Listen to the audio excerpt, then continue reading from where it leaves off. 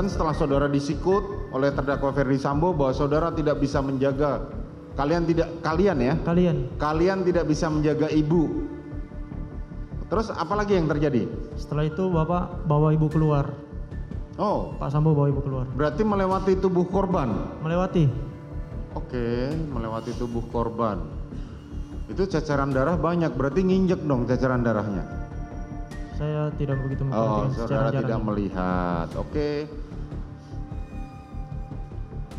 Digandenglah saudara Putri oleh terdakwa Ferdi Sambo keluar dari rumah itu. Betul yang mulia. Menuju ke mana? Menuju keluar yang mulia ke garasi.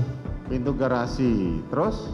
Terus setelah itu sampai saya di luar, Oh, saudara mengikuti. saya yang duluan yang mulia. Oh, saudara melihat keluar duluan. melihat bap, bapak bawa ibu keluar, saya langsung dampingi keluar. Oke, terus?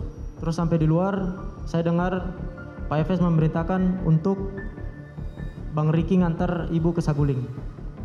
Bang Riki Ngantar ibu ke Saguling. ngantar ibu ke Saguling. Oke, terus? Terus setelah itu saya melihat Pak Fedi Sambo cuma menelpon saja. Menelpon. Betul yang mulia.